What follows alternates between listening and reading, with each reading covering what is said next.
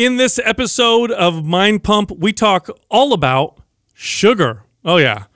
That component in food that makes it taste really good and sweet. So sweet. It's been uh, demonized in some circles. Some people say "Eh, it's not a problem at all so long as your calories are low. Um, it's been blamed for rises in heart disease and cancer. Um, we tend to think sugar probably best if you generally avoid it. So we talk about all of the stuff that sugar can do to your body and our experiences with sugar and our clients. Uh, we talk about its addictive properties. That's right. Uh, sugar does have some addictive properties, and we worked a lot of people who seem to have issues with sugar addiction. We talk about how it can cause weight gain, its uh, potential to increase risks for heart disease, cancer, acne, type 2 diabetes, might actually speed up the aging process. Um, energy swings, it can make people's energy go up and down. We also talk about, you know, how to eat it properly, um, like how to have a good relationship around sugar. So we know you're going to enjoy this episode. Also, this podcast uh, is brought to you by Four Sigmatic. Four Sigmatic is one of our favorite sponsors. Now, they make all products around mushrooms, adaptogenic mushrooms. Now, why do we like this company over others? Uh, well, one of the reasons is they test every single batch through a third party for heavy metals, allergens, bad bacteria, yeast, molds, mycotoxins, pesticides. They test their products for everything. So what you get is clean. Now, that's very important when it comes to mushrooms because remember, mushrooms filter toxins out of the environment. So sometimes you could buy a mushroom based supplement or product and actually be dosing yourself with toxins like heavy metals or or molds may actually cause yourself some problems. Not with Four Sigmatic. Four Sigmatic has adaptogenic uh, mushrooms like cordyceps, reishi, lion's mane. Lion's mane is a phenomenal nootropic product, actually been shown to improve cognitive performance. Cordyceps, uh, which I mentioned earlier, one of my favorite mushroom-based products for athletic performance. I notice more stamina when I take cordyceps. Um, I notice that uh, I have better heat and cold tolerance. I like to use a sauna post workout. I can just last longer in there when I supplement with cordyceps. I've actually had people who listen to the show who work outdoors, construction workers and roofers, who found that taking cordyceps just made them more resilient. But they also have other products. They have face serums, products you can use on your skin to make yourself look better. Uh, anyway, the bottom line is Four Sigmatic is the best company when it comes to mushroom based products. Um, now, if you want to get a discount, use the Mind Pump discount. We have the, one of the biggest ones with this company. So here's what you do go to Four Sigmatic, that's F O U R S I G M A T I C dot com forward slash Mind Pump. Use the code Mind Pump and get 15% off uh, your order. Also, this month, one of our more popular, newer MAPS programs, MAPS Powerlift, is 50% off. Of course, MAPS Powerlift is a powerlifting inspired workout program. So if you want to boost your bench press, your deadlift, your squat, if you want to compete in powerlifting, or if you just want to get more muscle and more strength, this program is for you. Again, it's 50% off. Here's how you get that discount. Go to mapspowerlift.com. That's M A P S P O W E R L I F T.com and use the code POWER50. That's P O W E R 50, no space for the discount. Today, uh, I was scrolling through uh, social media and I've seen a few of these posts on uh, Squatting and scrolling. Insta- Instagram and yeah, yeah, it's, Yeah, that's when the I- move. That's when I'm on the toilet. yeah. Um, and um, That's hovering and, I, scrolling. I see people doing, and, and this is starting to happen again. It, it comes in waves in the fitness space, but What's where that?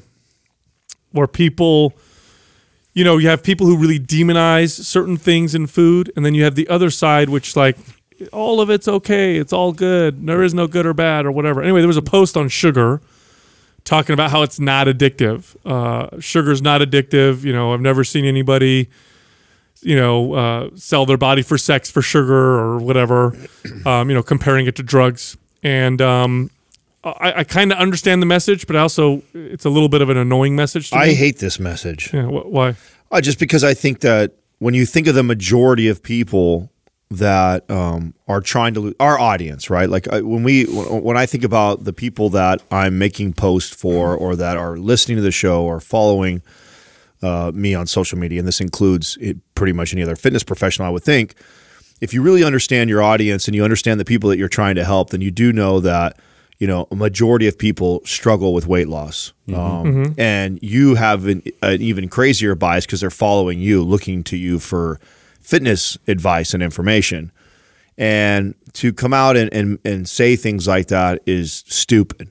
Um, it's stupid. It's ignorant, um, and it's it's a terrible message to send to people. Now I understand that there are people that came out and, and said things like sugar's as addictive as cocaine, and so you know you there's obviously the the science nerds want to uh, retaliate and defend it from a physiological standpoint. That well, no, when we look at it scientifically, uh, it's not as dependent as you can become as on cocaine.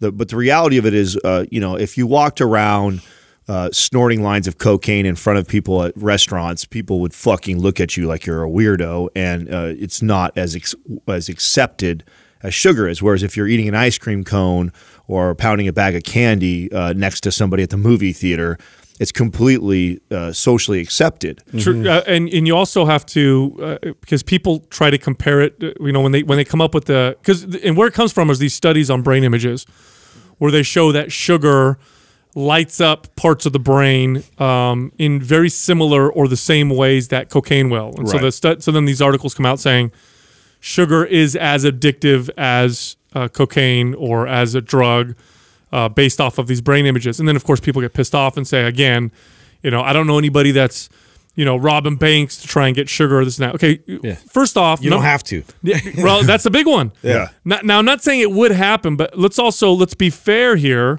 Um, nobody's selling their bodies for sugar because part of the reason is because you don't have to. Right. Uh, cocaine is not everywhere and super cheap and produced all over the place. Oh, what do you think would Like happen? sugar What is. do you think would happen if the government came out and said right now that sugar is a Scheduled One drug? You don't think you would there see be, people doing crazy you things. don't for think- it. huge black market. for hundred percent. yeah, you would start to see some pretty crazy stuff for sugar. Now, physiologically speaking, um, is sugar addictive? Well, uh, okay, this is going to be my experience working with lots of clients. Um, when you are on a high sugar diet and you go drastic in the other direction, when you eliminate sugar, they do suffer from withdrawal. Uh, they the way that they taste food changes. Things taste really bland. Part of that, a big part of that, psychological uh, withdrawal. But I do think there are some physical uh, withdrawals, not nearly as strong as physical withdrawals from from most drugs, but they're there nonetheless. And I'll also say this: um, uh, people who are who overeat and overconsume sugar, many of them see what's happening to their bodies. Okay, many of them know that their health is bad, have been told by their doctors, or see that the scale has moved up quite a bit. I mean, before you become 80 pounds overweight, at one point it was 20 and 30 pounds overweight. You don't usually, out of the blue, get a heart attack and die. Typically, there's lots of stuff that happens leading up to that, and yet people continue down that path, which is kind of a characteristic of what Well- happens when people are addicted to drugs too. Right? Yeah, and it's just funny to me because you know why do people get addicted to drugs in the first place? They're, it's an escape. It's Right. a coping mechanism. It's a thing that they're doing to you know break away from the the day to day pain that they're experiencing psychologically because of whatever trauma or whatever you know they're going through in their in their specific life. And to think that people don't use sugar in the same exact way is idiotic, in, in my opinion. Like, I, it, it's very visible to see that people, you know, uh, act in, in accordance against their own health interests. Correct. Because it makes them feel good momentarily. Right, well, and right. and not just some people, most people. Uh, Right. Very good point. when I when I when I evaluate someone's nutrition, so the very first thing we do is, you know, I, I tell clients, be yourself, track your food, I eat whatever you normally eat. Don't try and be good for me. I want to look at it and then we'll assess it and we'll make changes. The number one thing that I have to address right away is the overconsumption of sugar. It's it's just it's in so many foods. So many people eat uh, in excess and don't even realize that they do. So the problem that I have, and it, it really annoys me when fitness professionals put out messages like that, it reminds me of what it would be like if somebody was standing up in an AA meeting, drinking a beer, and trying to convince everybody at the AA meeting that, look, you can be like me and fit and still have a beer every once in a while and not become an alcoholic. It's a fucking horrible message when you know who you're communicating to. Does that mean that uh, uh, the people in this room don't have? I had I bought a bag of gummy bears in the airport on the way over to uh, flying over to Ohio. So it's not like I don't have sugar too. But you also don't see me as a fitness professional post that and share with, see, I too eat sugar too. It's, yeah, I do. Okay.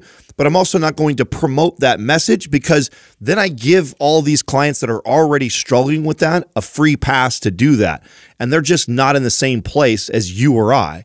And so that's the, the irresponsibility of, trainers that put out messages like this. It's one of my biggest pet peeves in our space. Sure, and, and and let's boil it all down to this: if we were to examine all of the things that uh, cause sickness, illness, and even if you break it down further, cancer, heart disease, diabetes, uh, dementia, um, all all of the pro- all of the the health problems that are really plaguing modern societies.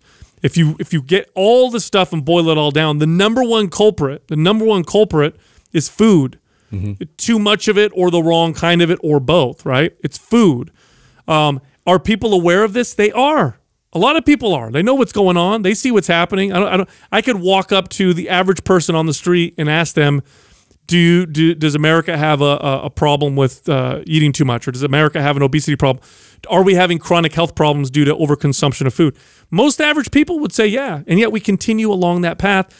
That shows me that there are some addictive properties to food, and more specifically to certain things in food, and sugar uh, being one of them. Well, we've already made the case that the you know they've done studies on this on groups that eat processed foods versus groups that eat whole foods. Mm-hmm. What are one of what's one of the main ingredients that in processed foods that make it hyper palatable? Sugar. Sugar. Yeah, sugar is one of the main Good components. luck finding 100 grams of sugar in nature in whole foods. Tell me. I'll wait. Yeah, it's it's it's actually sugar's quite rare Yes. in nature.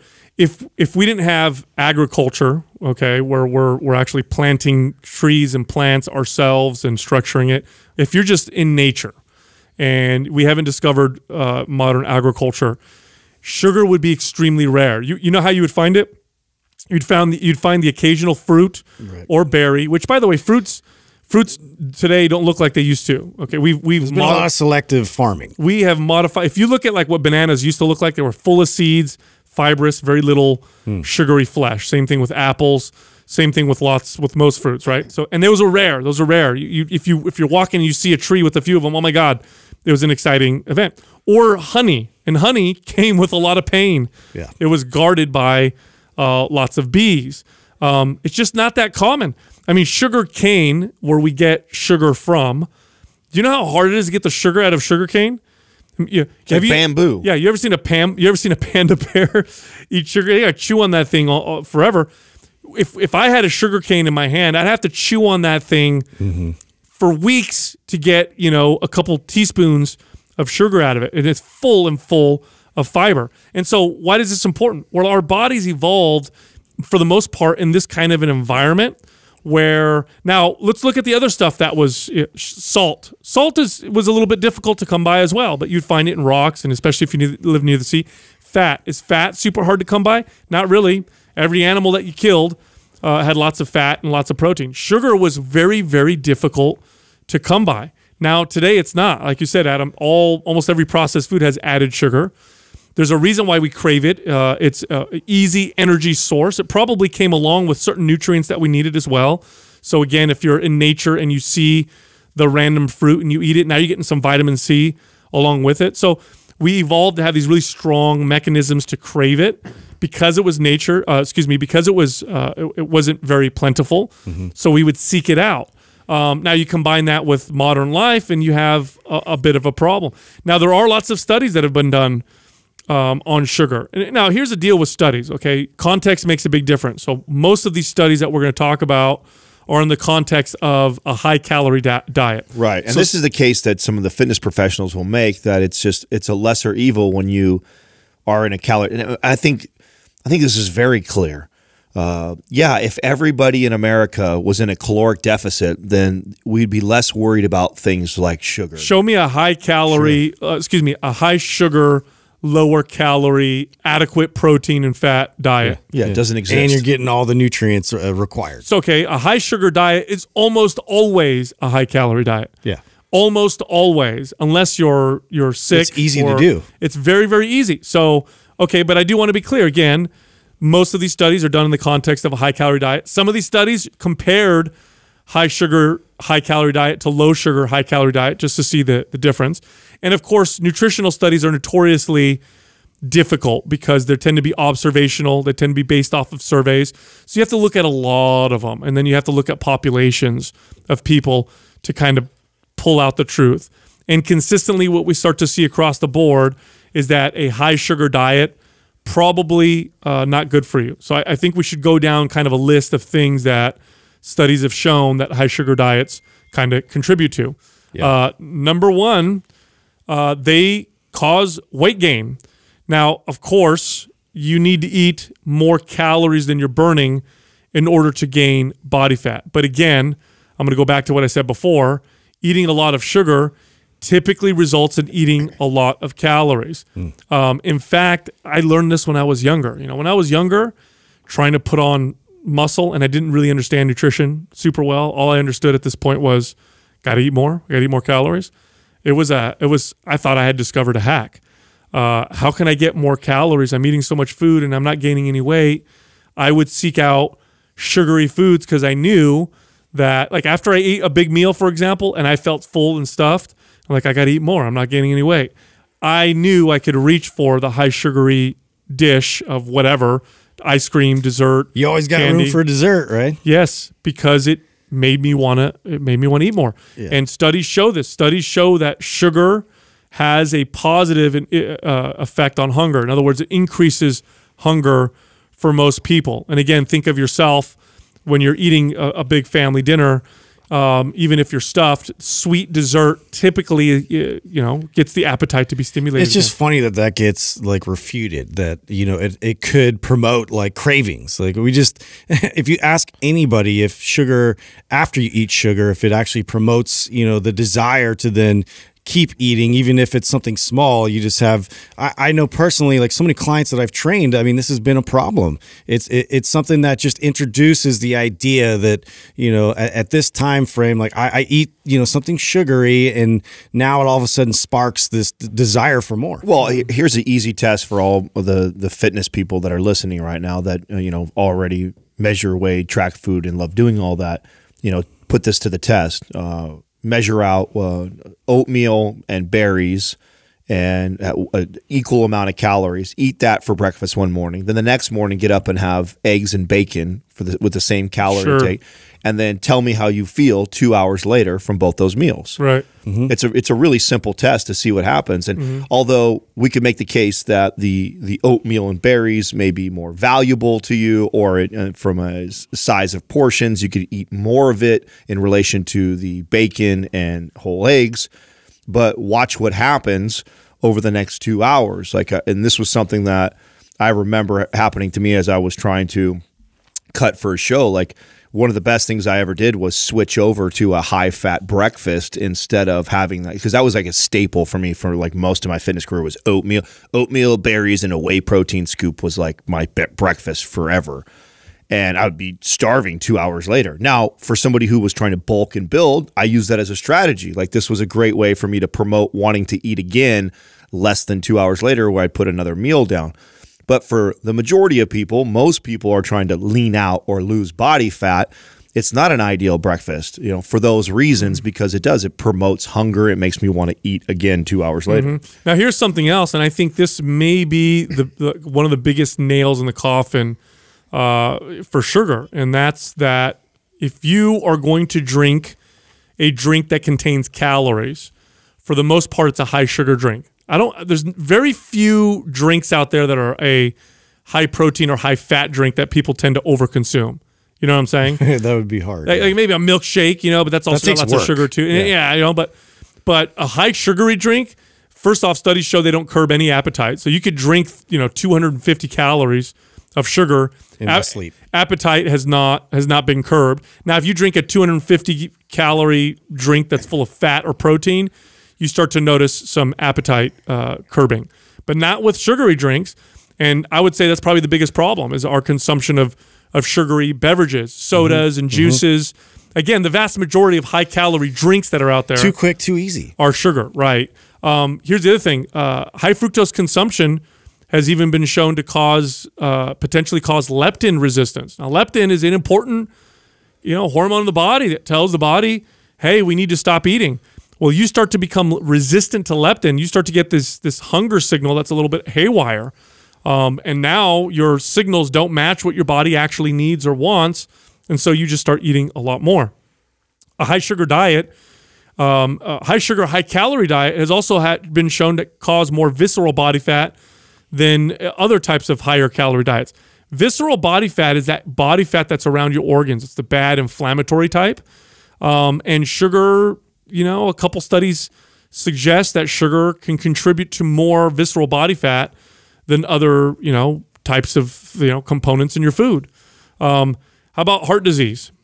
Uh, studies are pretty pretty clear on this. Um, there was one study they, they took thirty thousand people, and they found that those who consumed seventeen to twenty one percent of their calories from added sugar had a thirty eight percent greater risk of heart disease, which is a huge huge jump. Right. Um, yeah, it's insane. And you know, again, back to the sh- to the dr- sugary drink. A 16 ounce can of soda is 52 grams of sugar. Adam, how many sh- grams of sugar would you want your clients to eat typically when you'd work with them? That's about it. You're looking at it like, for, especially coming from something like that. It all depends on if we're having, if it's coming from fruit, right? So I always allow a little bit more uh, leeway for somebody who is consuming it in fruit. So I'm going to look at that. Like, are we getting it outside of fruit, or are you getting it with that? And that's just pu- purely because of the fiber intake that you're going to get from that. It's not that that cancels it out. It just it has more health benefits than just pure sugar from like a beverage drink. But yeah, I want them under 70 grams a day. And if you're getting 50 of it from a single drink, it doesn't give you room to have any healthy fruit for the day either. Berries are also way more satiating. They've got fiber. You got to eat them. You're not just drinking them. Juice would be closer to like a sugary soda i- in terms of its effect uh, on the body and Yeah. appetite and all that stuff. Now, Uh, does the American Heart Association have they? Because they obviously kind of changed their stance about cholesterol, uh, you know, being like the major source for heart disease. Now, have they swayed it a little bit more and looked into sugar? Yeah, no, well, sugar, they still consider it to be something that you want to generally avoid. You know, it's it's uh, kind of across the board. Even low fat proponents, um, vegans who typically have lower, you know, protein and fat in their diets. Um, they all typically there's only one diet I've ever heard of that's a high sugar diet, and that's the fruitarian diet. You guys ever heard of this? Oh, yeah, yeah. Which is terrible. Like what a terrible idea. Oh, um, it's obviously not super popular because I think the people who've tried it uh, have had Yeah, they major. usually go from that to breatharian, and then it's death. and then they're. T- and then Who's they're- who's the guy that was famous for that? Looked terrible. Didn't he just die recently? Oh, yeah. oh, there was a guy Super that gaunt, Yeah, yeah, there was a yeah. guy that did that. You guys know Steve Jobs tried that for a second, right? yeah, yeah, Yeah, he start, he tried that for for a quick Right second. before he died, right? Um, I don't know if it was right before. yeah, I don't. Yeah, I don't know, but it might have been right before he got his pancreatic cancer, which Well, I know I know right now you're going through all the things and listing off like the science to support it and uh and I, I think that's important so people don't think we're just pulling things out of our ass but you know personally for me this this really doesn't come down to uh, I don't need to see the studies. Yeah. I don't need to. I, I've trained enough clients to see this in real life, to see the struggle that people have, um, and I have a lot of empathy because I come from this. Um, I was raised in a house that you you know we had uh, you know Captain Crunch and Fruity Pebbles and things like that for breakfast every single morning, and if it wasn't that, Did you see that cinnamon toast crunch now has churro cinnamon toast crunch? wow. no, I didn't. my mind was blown. I'm sorry. I'm totally derailing this. Right. So, uh, or or I had donuts, um, or I had a stack of pancakes uh, buried in syrup. Like that was. I mean, I ate that every day of my life for probably 20 years of my life. And then when I got into adulthood and had to fend for myself, it was like Eggo waffles and syrup uh, or cereal for breakfast. Um, and because I was a skinny kid who couldn't put um, body fat or muscle on, I thought nothing of it. You know, I'm not fat. I can have. I, why can't I have donuts? Uh, and that's how I feel the messaging when when fitness professionals present that. It's like, I'm lean. look, yeah, Yeah. I, I can be fit. I eat sugar. I do these things. And the reality is that, you know, when you're 20 years old, um, like I was when I thought the same way too, um, I, I thought I was invincible to these things. And now I look back at, you know, almost 40 years old and a completely different job where I'm sitting uh, mostly throughout the day, which I would think that I probably relate more to my clients now than what I did 20 years ago. You know, 20 years ago, I was a kid who was not only training clients eight to 10 hours a day, I was wakeboarding, snowboarding, playing basketball. I mean, my activity level, I was moving on a low day 15,000 steps of walking. And then in, in addition to that, exercise. Like, the amount of calories that my body was burning, um, yeah, I could get away with four or five donuts a day. I could get away with a bag of candy or Ben and Jerry's ice cream every single night. And so then, you know, I justified that. And what was really bad about that messaging is you tell that to a client, which most trainers know that your average client is not 20 years old. Your average client is probably 35 to 55, middle age, uh, need to lose need to lose weight, have sedentary lifestyles, and then you're promoting a message like that. It's it's a terrible message to send to them because they're already looking for justification on that why they should be able to do those things. And part of that wanting that justification is because they still struggle with addiction. And just because on a physiological level and with the studies and what the science shows of what cocaine does inside of your body and what sugar does to your body doesn't mean that somebody mentally and behavioral speaking cannot be as addictive or more addicted to something. It, it's and look at the end of the day, it all boils down to the individual because for some individuals, sugar is far more addictive than cocaine. Look, I've had clients who've done both cocaine and sugar, I've done both. and and they had no problem stopping I've the got, no, cocaine. I've got no problem not doing cocaine. Yeah, it's yeah. not a problem for me. Right, it really right. isn't. Right, I- you right. know, it's It's it, not like you need it before breakfast. not having sugar though is still a problem for me at 38 years old. Sure, it's sure. something that I have to consistently think about and I've got to rein in and when I allow it in and I justify, hey, I'm a fit trainer, I can go have a three scoop waffle cone ice cream or I can go have a bag of candy. What I always notice is the next day I want more. Isn't that crazy? It's is way crazy. Yeah, it's crazy. And then and then all of a sudden fruit starts tasting less less good, and I start craving more and more of those. And and I'm very aware, so I know as a trainer that my clients are not that in tune with their body. Most clients are not so aware that as soon as they eat something, they notice if their autoimmune issues flare up. They notice if they have poor sleep or lower energy levels or an inflamed gut from it.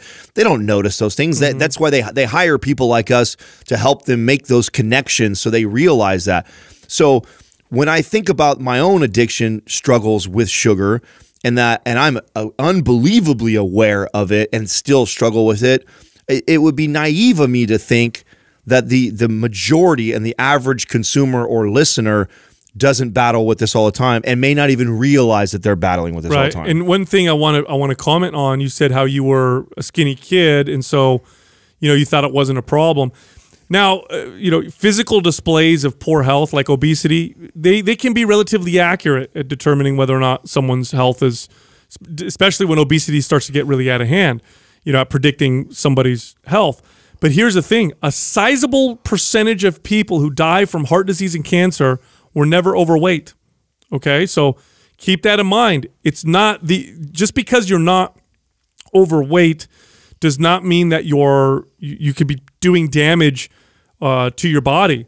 Again, a sizable percentage. I, I forgot what the exact number was, but it's uh, it's it's. I mean, I know it's millions of people who don't have these signs of being overweight and Dude, being my, heavy. my, my the, part of why I think I'm so fired up about this conversation right now is obviously that we've seen recent posts uh, relating to this, and this is also uh, very very personal. Besides what it is to me, it's also my si- my sister was hospitalized because she was hyperglycemic because she lived off of fucking candy and cereal for 20 years of her life and she was rushed to the ER and she's sitting in the hospital today still right now and she's still battling things that the doctors can't figure out what the fuck is wrong with her.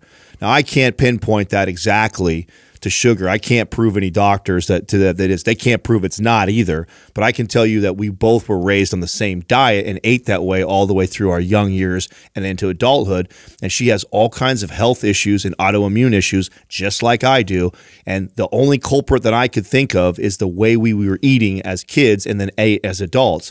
So And the hu- the human body just did not evolve. and neither one of us were fat. yeah, yeah. Neither no. one of us were fat. No, you're both you're both naturally skinny. Yes. Yeah, Mm-hmm. And, and and weird stuff happens. Look, there's there's studies that show that sugar is linked to acne.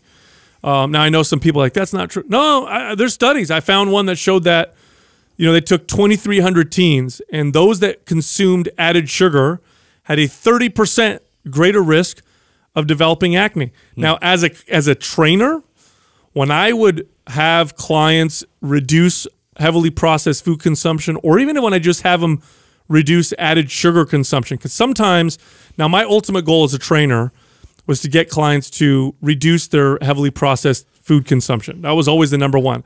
But sometimes that was a bit difficult. I had to break it down into smaller pieces.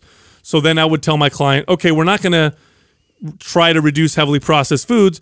Let's just try to reduce sugar. Now I mm-hmm. knew naturally that would help quite a bit, but there's there's foods you could buy that are heavily processed that are low in sugar also. Not as much, but they're still there. And inevitably I would start to see they would notice themselves some weird things happening. Aside from weight loss, one of the ones the common ones was their skin would clear up.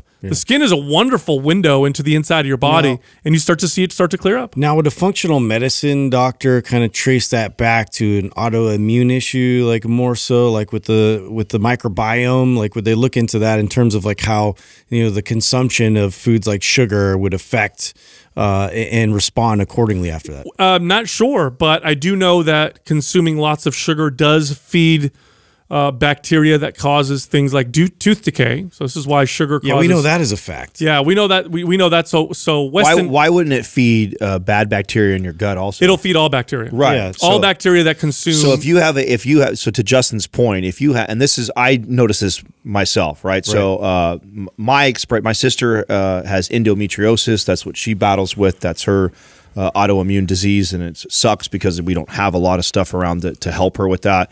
And then I have psoriasis, also something that we don't have a lot to really help. We have more information probably than that. And it's something that is, uh, less detrimental, I think, than what my poor sister has.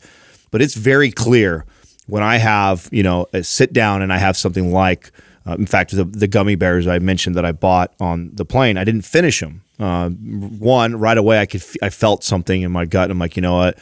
Uh, yeah, I wanted to keep shoving them in my mouth because they taste good going down. But I was like, yeah, I'll pay for it later on within two hours almost always of me having something enjoying some ice cream or doing those things and this is what keeps me today from it so it's almost like the you know the autoimmune has now become a blessing in disguise i try and look at it like that even though i fucking hate it but it'll flare up my psoriasis i mean with within two hours i'll be itching at it right away oh, interesting. yeah, like clockwork. So 100%, I know it has to be going in there and and feeding that that bacteria and making it worse and upsetting my gut, which then expresses itself through mm. my skin. And the first sign of it for me is just the irritation of it. It makes me want to itch it, and then the next day it'll be scabbier and stuff. So. You know, and, and that's just how my body expresses it. With when it comes to autoimmune, it could be so many different ways. that, shows up in so many forms. Well, actually, if you if you look up autoimmune diseases and um, and sugar, you do find casual links to increased you know uh, symptoms, to more symptoms, to having worse issues with all with most autoimmune uh, issues. Um, if, if you go and work with doctors or you work with functional medicine doctors and you have certain autoimmune issues, um, I don't think a single one will recommend a high sugar diet. Almost all of them will tell you uh, to reduce your, your sugar consumption. And you're saying functional. The problem is a lot of regular doctors don't tell you shit. well, that's why I brought up functional because they're they're not even going to do that kind of work. No, I was going to a dermatologist for years. We never touched diet. Mm-hmm. And I in the the vitamin D advice that uh, Sal you gave me years ago, one of the best things that ever happened to my psoriasis, and and cutting back on my sugar is the second best thing that's ever happened. When we went on the ketogenic diet, uh, my psoriasis was some of the best it had ever been. So th- that's the things that sucks is that we have doctors out there that are always looking on ways to try and a- address what's happening, but not addressing the root cause that caused it. And so you, unless you're seeing a, a functional uh, medicine doctor, a lot of them aren't going to point you in that direction. No, no. Um, type 2 diabetes, which is an obvious one.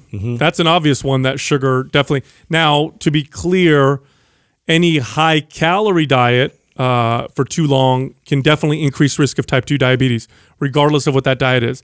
That being said, when all factors are controlled, sugar uh, on its own is more strongly connected to type 2 diabetes. And it's more closely connected to uh, what they sometimes call type 3 diabetes, which is you know Alzheimer's or uh, impairments uh, of the brain. In fact, when you take this is documented, this is widely documented.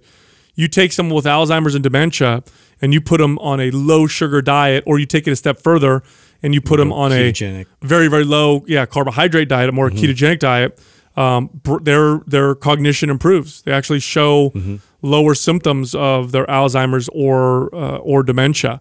Um, again, I mean, I think all the things we're pointing out point out to the fact that we just didn't evolve with all this with all the sugar. And there was a policy not that long ago. One thing you'll notice about if you look at the back of your your food labels, your high sugar foods, obviously, uh, typically the the sugar is in, it comes in the form of high fructose corn syrup. So soda doesn't say sugar; it says high fructose corn syrup. Uh, if you buy bread that's got added sugar, Right. high fructose corn syrup. sugar alcohols. Yeah, can- candy, high fructose corn syrup. You want to ask yourself, why are we using this form of sugar over other forms of sugar? Uh, we subsidize it. Uh, it comes from corn. Corn is a subsidized crop, meaning taxpayer dollars go to it, to bring the price down, making it extremely cheap. A long time ago, the U.S. government uh, considered corn to be a staple crop and thought it would be a phenomenal idea to uh, keep the price low by having everybody pay taxes towards it. Weird rationale, right? bad, bad math, but whatever. Let's keep it down. Let's prop this this crop up, and uh, our sugar stopped coming from sugarcane, and actually decimated the sugarcane market, which uh, Hawaii lost that that market quite a bit because we started to just use high fructose corn syrup because corn became so cheap. So sugar in general, and before that, we were actually propping up sugar also. So sugar is cheap and plentiful and very easy way to make something more palatable, which is one of the main reasons why you see it exploding. Just Uh, dusted on everything. It's in everything. It's just an easy way to make something taste a little more, uh, a little bit better. Salt will do that a little bit as well, but sugar really is one of the key. It's a massive drivers. industry that we also have to understand that when you see studies that try and counter like counter the message of sugars like cocaine, who do you think it's coming from? Like no the, if you s- sugar is making so much money in in in, in the world that nobody wants no no companies or brands want to see that go away. In fact, you're starting to see this too. I don't know how uh, we, I don't think we've ever discussed this on the show that I think that the consumer should be aware of what's called nutrient splitting on labels. Uh, and sugar can come in so many different forms. Like I mean, you'll see corn syrup, fructose. You'll see regular sugar. You'll see cane sugar, Dextrose. dextrose. You'll see like uh, there's evaporated cane juice. yeah, right. And and so they Yeah. do they do and if you ever wonder why you see this on a label, this is this is a total manipulation to uh, to fool the consumer into thinking that there's not that much added sugar into this. is- Coconut crystals. they they they nutrient split it all so then they can put something else in front of the label because the way a label is designed is it's it's put in the ingredients it's put in the order of what is the most in that in that food that you're or that drink that you're drinking So let's say they want to add 30 grams of sugar. What they could do is put evaporated cane juice, molasses, and then sugar. And so in that order. So And you think, oh, sugar's the third ingredient when in fact it's been well not only that but then they could put something else like real fruit which let's say is real fruit is actually uh, let's say 12 grams and then they it, so they can put it first real fruit and then the three afterwards are three types of sugars that add up to less than 12 grams so therefore they can put the real fruit Oh. so when you read the label, you're like, oh look, sugar's the fifth ingredient. or even sixth bring the grand total down. Exactly. Wow. So that, that's, That's how dirty. that's called nutrient splitting, and they do this on ingredients labels as a strategy because the average consumer is now savvy that oh I shouldn't just They're have aware. They're just looking right for the sugar grams. Right. And so, you know, be aware when you're looking at an ingredient uh, label, when you look at all the different types of sugars, you know, there can be 8, 10, 15 different forms and they can and they can put all those different forms in a product and they they only have to they they're measuring them individually so they can put them deeper into the label so it looks like there's not as much sugar. But if you were really to combine them all, the weight of it would probably make it the number one thing. that- Wow. so Wow, that's, that's crazy. It's extremely common. The odds are against us. Well, there, uh, one of the climbing uh, reasons why more and more people in, in modern countries die is cancer. Uh, cancer now, one out of every three people uh, will will die of cancer. So it's now it's climbing, and it's actually one of the higher ones. Part of the reason is we're we're all living longer, so the longer you live, higher chances of getting cancer. Um, the other reasons are quite aren't so clear, but we do know there's a very very clear connection between obesity and cancer, and then diet and lifestyle and cancer. In fact, uh, some scientists would say that about 72 or more percent of all cancers uh, can be prevented through lifestyle and good diet and from not uh, being obese. But that, that all being said, uh, sugar on its own has also been connected uh, to, to many, many forms of cancer. In fact, when you're getting imaged to see if you have cancer, do you know what they inject you with? Sugar. oh, really? Yeah, they want they, they, it lights up uh, uh, because it, cancer is cancer cancer cells are hungry cells. They burn lots of energy. Is that really what they do? I did not know that. Yeah, they- and they're they're very very hungry, right? They, they they burn up lots of energy, but they're also incapable. Most cancer cells, there's some that can actually do this, but m- the vast majority of them can't use ketones uh, for energy. So you so they'll either use amino acids or they'll use uh, sugar or you know glucose. Wow, that's interesting. So if you go in to go get tested for something like that, I think they also tell you to be fasted for 12 or 24 hours before. So that's why they- they're trying to get you into uh, ketosis.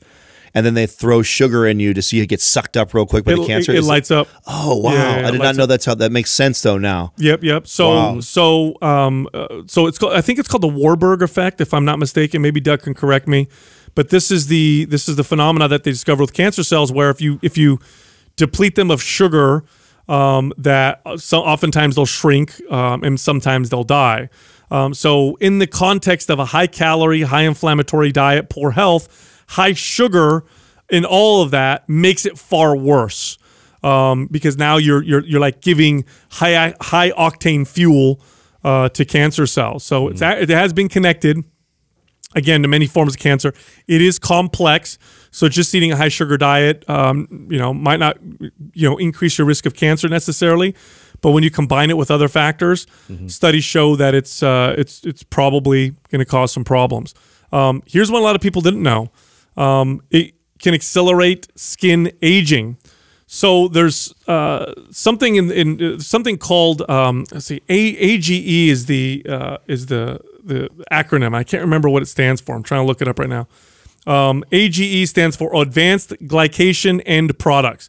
Okay, so these are compounds. I'm looking it up right now. Are compounds formed by reactions between sugar and protein in the body, and they're suspected to play a key role in skin aging. So believe it or not. So consuming a diet high in refined carbs and sugar tend, leads to more of these things, which can cause your skin to age faster. So they've done studies where they've compared uh, women who consume lots of refined carbohydrates and sugars to women who can consume a high protein, lower carbohydrate diet, and they find that the there's a, more of a wrinkled appearance in the women who consume more sugar. Now, I like to bring that one up because we're all so aesthetically focused. So sometimes the, the you know I'm talking to a 30 year old and the cancer and heart disease stuff. They're like, right. eh, whatever. Makes you gives you more wrinkles. Wait a minute. I look good now, though. yeah, let me let me pay attention to that one. Um, it could also uh, may increase uh, cellular aging. So this is something that's being debated right now in scientific uh, circles. But um, they've done studies to show. So you know what telomeres are? Mm-hmm. Okay, so telomeres are protective caps on the end of your chromosomes, and as you age, they get shorter and shorter. And uh, so scientists can you know, they can relatively accurately predict someone's age by looking at the length of a telomere, but you can make them age slower by having a better lifestyle. So they can see that, oh, this person's 30, but they're their telomeres sh- show that they're like 20 and their lifestyle's healthy. They eat very healthy, they exercise, they get good sleep. I thought those were the cartoons with the little antenna antennas on top. the It looks like little. they were purple little cartoons with the antennas. That's what I thought that was. Teletubbies. oh, that's what it is. Teletubbies. That's what it is. No. no okay. You can tell by your Teletubbies No, how old I, you are. I know if people listening were thinking the same thing as I was. No, so they showed uh, there was a there was a study that con- that uh, looked at f- over five thousand people, and it showed that regularly drinking sugar sweetened beverages was associated with shorter telomere length and premature cellular aging. Um, another study showed that each daily 20 ounce serving of a sugar sweetened soda equated to 4.6 additional years of aging, independent of other variables. This is just based on the telomeres. So speeds up the the the aging process uh, in the body. Um, uh, of course, we know about energy swings. How do you guys feel when you eat a lot of sugar? Because there's something that distinct that happens with me Spike, then a major crash. every time. Yeah. it's very distinct with me. If I eat, It's uh, like an hour dump for me. totally, Yeah. I'll feel okay, and then I'll I'll want to fall asleep, and that has to do with the you know the blood sugars up and down. If you ever, by the way, if you're a parent, you know exactly what I'm talking about. You ever watch your kid eat a lot of sugar? Yeah, have have them eat a stack of pancakes with a ton of syrup, and then you know, like they'll play outside. Then all of a sudden, it's like, Isn't it funny that we, as uh, parents, that ev- ev- no parent will contest this, right? No parent will ever say, "I let my kid have a, a big old piece of cake," or "I gave him an ice cream." And there was no change in their and there was no change in their. No parent will say and that. they're an angel. and they're so yet we have that in front of us, but then we just ignore it in Yeah. ourselves because we're older. We try and we're adults. rationalize it later with other studies and other like things out there that'll help to promote the fact that I still want a donut. And the reality of it is the reason why I think we see that in children and it's so clear and nobody debates it is because a couple of reasons. One, uh, they're so young, so they're probably nowhere near as adapted to it as we are. And then they're a tenth of the size of us as adults. And so, you know, when we give them one cookie or Yeah, like like ice- a cookie that an adult would eat. Right. You know what I'm saying? Think about that for a second. If they're if they're less than a quarter of your size, most of your kids are even less than that, right? They're a tenth of your size. That's like you having 10x that and tell me you wouldn't feel a difference. Go have it. So go have a gallon of ice cream and tell me how you feel afterwards. Yeah, and that, and the other the other part of it is kids just display their emotions very outwardly, whereas if you're an adult um, and you start to feel kind of cranky, you, you might not let people know, but little kids let you know, and that's what I notice with my kids. If they, they eat a big sugary meal, um, after about an hour, two hours later, they're just irritable. You know what I mean? They're just kind of a pain in the ass, and I know it's like they're tired. Their blood sugar crashed. They're not feeling good. This is especially when they were really, really little. I used to hate it. We'd go to parties, and you know, of course, people would feed them all kinds of you know candy and sugar and cake and uh, you know cupcakes and whatever. And then it came time to go. And then you go, and then you know, in the car they'd fall asleep, and you'd wake them up, and they'd be pissed off, and it was like, oh, what a nightmare. Yeah. every single time. Justin's also been somebody who's shared, and Justin, you're not the only parent that has shared this with me, uh, where you know, first kid comes along and they're really strict about diet. They they I'm not gonna let my kid have sugar. I make everything. Second kid comes around, they're Little kind of like, looser. "Ah, a little looser, whatever. And then five, eight, ten years later, they can see a distinct difference in their their behaviors with their food. And Justin's confirmed this both with uh, Ethan and Everett before that this happened to you. And you're probably the fifth parent that I personally have talked to that's friends of mine that did something very similar, and they all are in agreement that there's a different difference in their eating behaviors, and a, they both attribute or they all attribute it to you know the way they were as parents with the way they fed their kids. Or Well, if you look at like mood uh, mood disorders, um, uh, like ADHD, um, if you look at um, depression, um, uh, and other forms of, uh, of of disorders, anxiety, uh, you can you'll find studies that have links between diet and those things, and typically a high sugar diet causes those things to be worse. You see more symptoms in them. There was one study I read a long time ago on children with ADD where they had them they eliminated sugar out of their diet, and they saw a pronounced uh, positive effect in the children's behaviors uh, because of uh, because of the diet. They, their ADD symptoms were were, were way better. Well, I don't know- depression is another one. I, I don't know about you guys, but it's it's it's always been one of the easiest ways for me to right away start helping clients. That's why it's one of the first go to places Yeah. that I adjust. Right away, I, I, I normally just, just tell them to be tighter on their sugar, and then tell them to get that all from fruit. You know, say, okay, here's the deal. Like, I don't want you eating any other sugars outside of fruit. So if you have a craving sweet, have some grapes or have some bear, ideally berries, things like that. And just that alone already starts to change And adding nutrient rich, fibrous, you know, type whole foods like helps to kind of slowly adjust and change the palate. So then they start craving more nutrient dense foods. I mean, that's something that, uh, like, if I'm eating a high percentage of sugar, like, how many nutrients am I really like adding into my diet? A lot of times, like, that's something you got to consider. Well, sugar, carbs in general, but sugars are not essential macronutrients, and they typically are empty. Empty. It's just you know know, it's just calories. Um, you don't need them. Um, now, here's the thing: I, I don't want to demonize sugar and make it this evil, scary thing. Here's how I treat sugar. I treat sugar like, uh, like like a beer.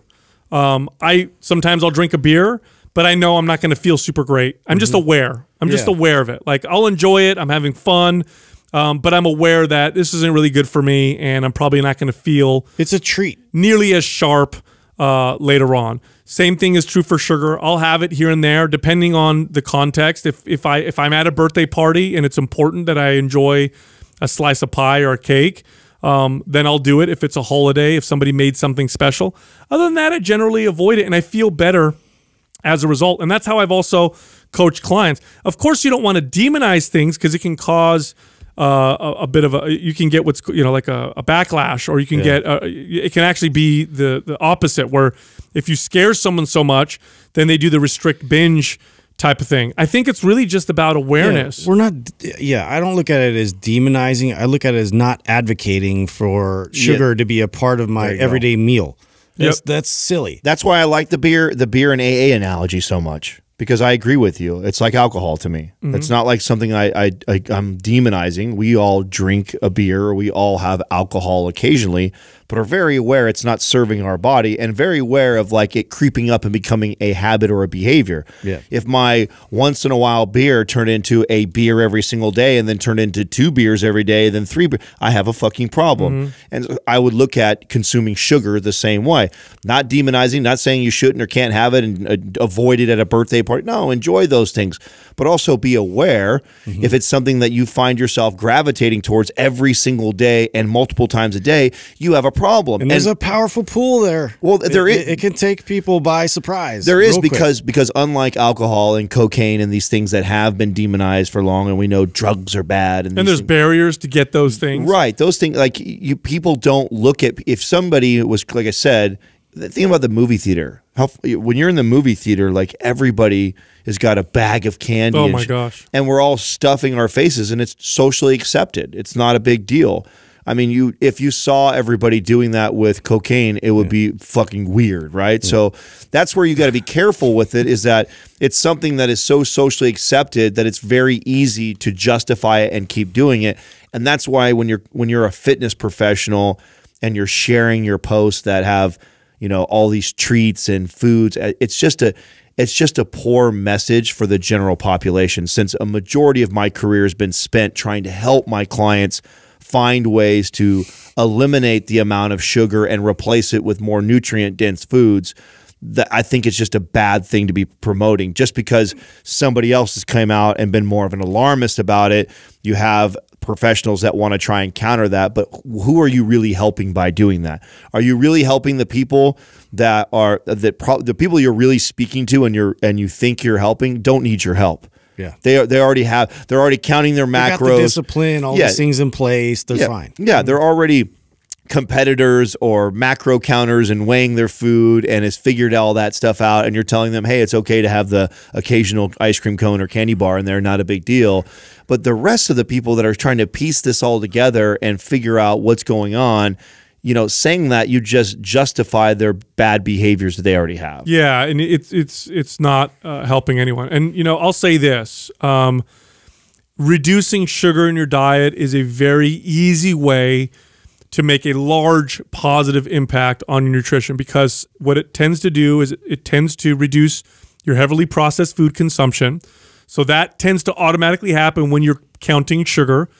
Um, you you tend to, as a result of those, you also tend to eat uh, less calories. Now, I'm not saying there isn't more work that needs to be done. All I'm saying is, if you want something simple that tends to have large effects, like one single step that has large effects, really reducing your sugar intake, um, you know, it, it, it can help. It's one of the more successful, uh, simple steps you can take. And with that, go to mindpumpfree.com and download our guides. They're all totally free. You can also find the three of us on Instagram. You can find Justin at Mind Pump Justin. You can find me at Mind Pump Sal and Adam at Mind Pump Adam.